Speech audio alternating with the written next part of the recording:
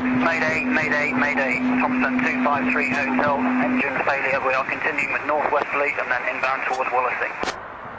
Thomson 263 Hotel, roger. All runways available for landing, surface wind 0, 70 degrees at 5 knots.